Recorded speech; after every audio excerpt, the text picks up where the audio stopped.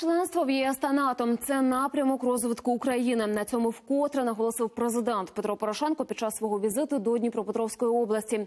Він також зазначив, що саме Дніпро є форпостом на сході країни у боротьбі за незалежність. Продовжать наші кореспонденти. Чтобы все было организовано и красиво, покажите свой уровень.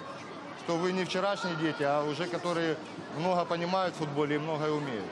Короткий інструктаж перед першим спортивним випробуванням. Дитячі команди з міні-футболу грають на майданчику одного з найкращих спортивних комплексів країни. Його побудували на території Слобожанської селищної громади всього за рік. І все завдяки децентралізації. Очень довго ждали. Я 25 лет на общественных началах работал, и вот это сейчас построили спортивный комплекс.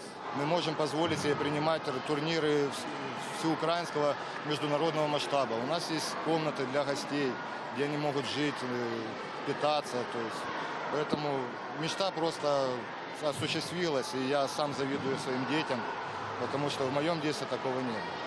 На відкритті дитячого турніру право першого символічного удару по м'ячу отримав президент країни. Петро Порошенко зауважив, що завдяки децентралізації у регіонів з'явилася можливість розвиватися. Це є символ, як змінюється країна. Символ, коли громада об'єдналася, коли вони мають достойного керівника, який байливо піклується про витрачання кожної копійки бюджетних коштів, коштів місцевого бюджету, бо громада має вже нарешті ці кошти. Не зміг не згадати президент і суботню подію, коли відбувся об'єднавчий собор. Порошенко вкотре наголосив, автокефалія одна з найважливіших умов існування незалежної держави. Тому що ми всі громадяни України. І без такого атрибуту, як незалежна церква, не може бути незалежної держави.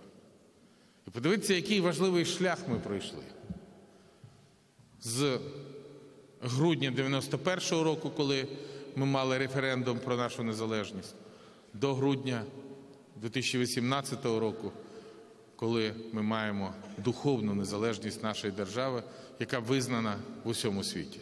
Ввечері Петро Порошенко зустрівся зі студентами та творчою інтелігенцією області, а також підписав указ щодо надання театру імені Шевченка статусу національного.